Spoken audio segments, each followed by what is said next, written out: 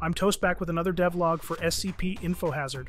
This week, our team worked on polishing up one of the opening sequences of the game, which is based on SCP 3930, a 2018 SCP file written by the prolific DJ Kaktus. SCP 3930 does not exist. Not only did we polish up the look and feel of the section, we got to do one of my favorite things a voice recording session.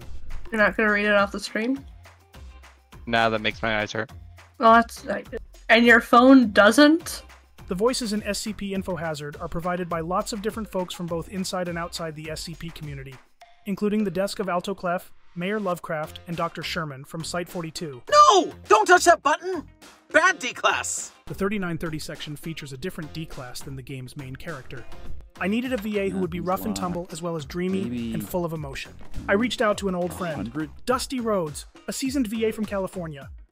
I just noticed something. There's a sound I can hear now.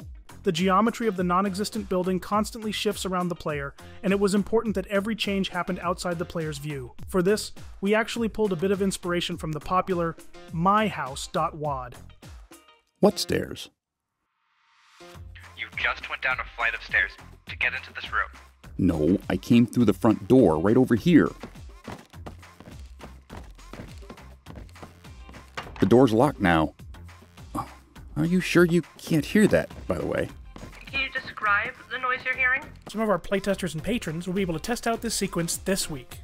Speaking of patrons, as always, thank you all for your incredible support. See you all next week.